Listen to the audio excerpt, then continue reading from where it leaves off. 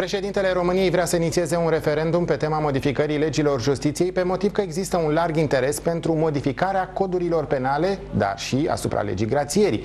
Gorgenii nu văd însă cu ochi buni această decizie a președintelui. Concret, oamenii cred că un referendum ar fi niște bani cheltuiți fără un temei legal.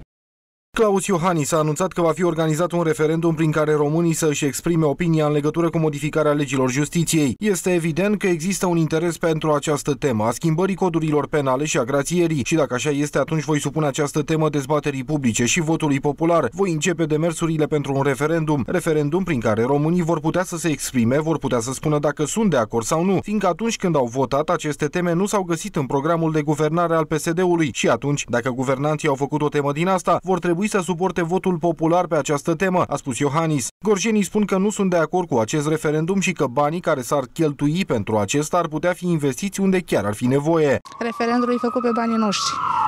Nu prea sunt de acord. Avem legi care hotărăsc dacă se poate face referendum, dacă e drept sau nu e drept. Nu prea sunt de acord. Credeți că se vor cheltui prea mulți bani? Da, sunt prea mulți bani și așa banii cred că trebuie în altă parte. Asta e părerea mea e nevoie prin alte părți. După mine e o prostie. Și mai mult nu pot să spun, nu comentez, dar e o prostie ceea ce, ceea ce încearcă. Și se face pe banii noștri.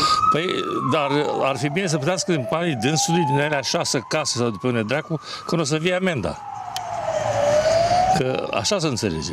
Nu sunteți de acord cu un referendum? Păi ce, ce o să ceară? Că ele sunt niște prostii care le-a cerut acolo.